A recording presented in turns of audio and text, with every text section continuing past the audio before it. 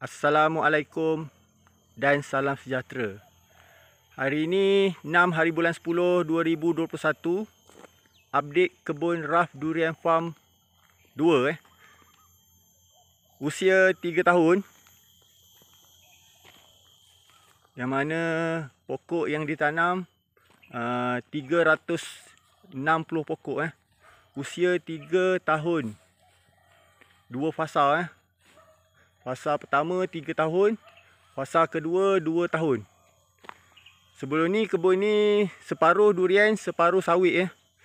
Apabila satu tahun telah ditanam durian, uh, sawit yang usia satu tahun tu telah ditebang. Jadi semua sekali telah ditanam pokok durian. Uh, jika tidak ditebang sawit tu, dia akan merosakkan uh, pokok durian ni lah akar-akar durian ni Okey. Kembangan pokok usia 3 tahun ya. Mas Mua di 200 Musang King. Okey, ini teknik double planting ya. Di 200. Yang ini Musang King yang sebelah cantuman belum dibuat lagi, tak jadi cantuman. Uh, jadi kita akan buat kaki ganda lah nanti apabila pokok ni besar. Dahan yang ni dahan yang ni saya akan tampal ataupun sandingkan dekat pokok musang king ni. Dia akan jadi kaki ganda eh dengan jarak 5 kaki. Dengan jarak 5 kaki akan dibuat kaki ganda. Jadi jauhlah dia punya kaki ganda tu jauh lah jarak dia.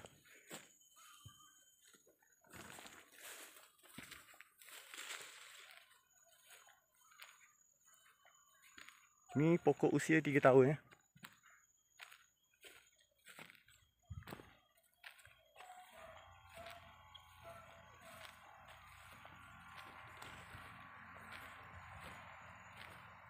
Jarak tanaman antara pokok ke pokok pokok ke pokok 45 kaki ya. 45 kaki jarak antara pokok ke pokok durian ya. Jarak dia 40 ke 45 kaki.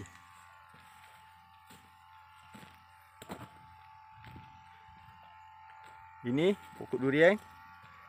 Ini tengah pokok limau eh. Ini pokok durian. Jarak dia eh antara pokok durian ke pokok durian ni jarak dia 45 kaki. Antara pokok durian ni ke pokok durian ini jarak dia 40 kaki. Jadi kebun ni Raf Durian Farm 2 ni berkonsepkan uh, 40 kaki ke 45 kaki ya jarak dia. Sebab dekat tengah-tengah ni ada pokok limau. Sebenarnya tiada masalah. Apabila pokok limau ni dah besar nanti kita akan buang lah. Kita akan musnahkan. Bagi pokok durian ni naik dengan sempurna.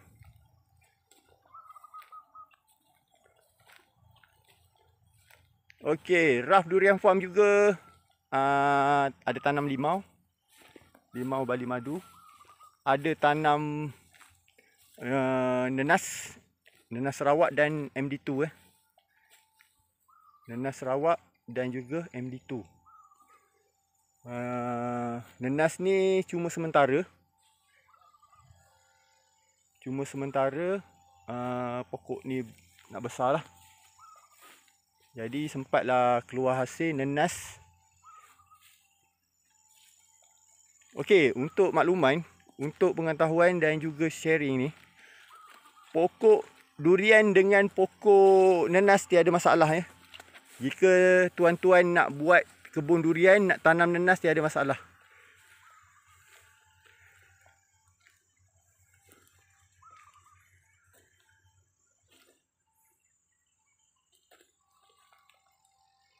Tuan-tuan boleh tanam pokok nenas sementara nak tunggu pokok durian ni berbuah boleh tanam pokok nenas.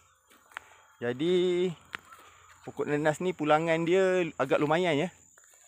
Terutama sekali MD2. Ni MD2.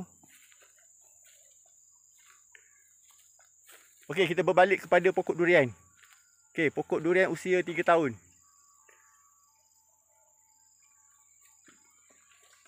Kalau kita tengok dekat pokok durian ni, sebenarnya duri dahan yang macam ni adalah dahan berbentuk V ya.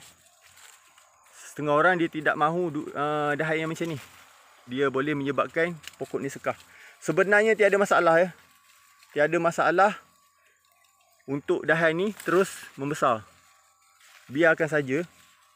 Dia lama kelamaan dia akan membentuk sendiri ya, membentuk sendiri kecuali Kecuali dahan yang seperti ini ya. Jom saya tunjuk dahan yang macam mana yang sebenarnya atau sepatutnya tuan-tuan buang eh.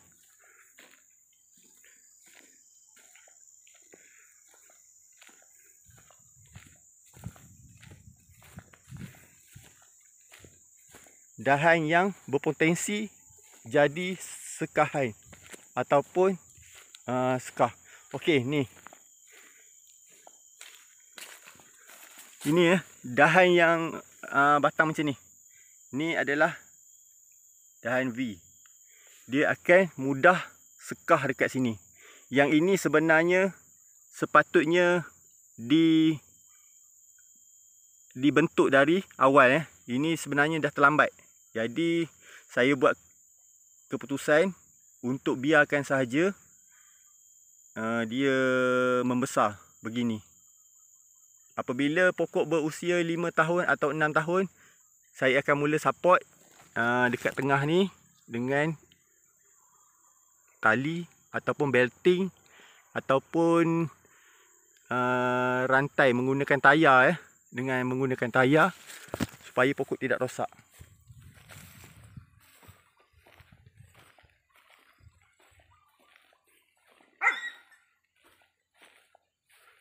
Okey, di Raf Durian Farm 2 ni uh, teknik kaki ganda ya. Beberapa pokok ada buat teknik kaki ganda yang mana pokok durian kahwin ditanam di sebelah dan sebelah lagi biji ditanam terus di lapangan ya. Bukan taruh uh, letak dekat dalam polybag ya. Terus tanam biji dekat sini. Jadi apabila pokok ni besar, kita akan buat kaki ganda macam ni.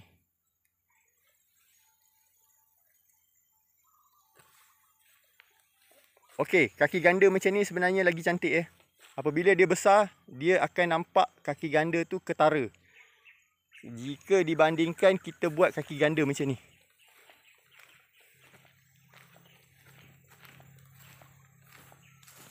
Okey, ni kaki ganda juga. Okey, kaki ganda ni apabila pokok ni besar, kita tak nampak dia punya kaki ganda. Sebab dia akan bercantum dan rapat eh.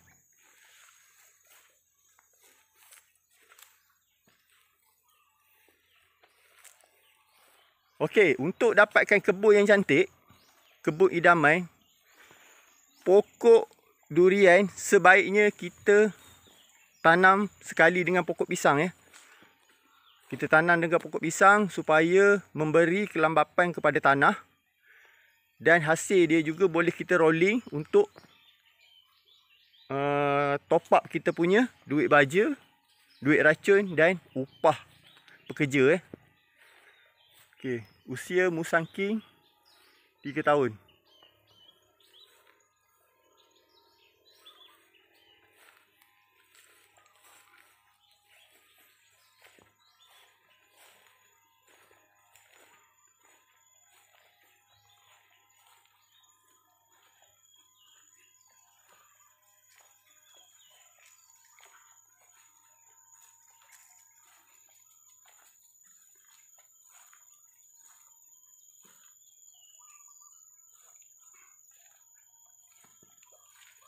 Okey.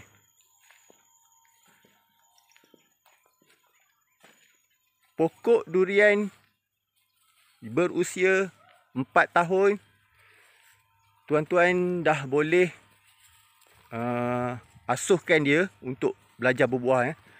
Masuk usia 4 tahun, tuan-tuan boleh letak baja buah supaya pokok tuan-tuan mula belajar berbuah. Jadi uh, tiada masalah sebenarnya menggunakan baja buah pada usia 4 tahun. Okey, pokok di durian raf di raf durian farm ni, dua ni akan mula diletak baja buah pada Julai 2022 eh.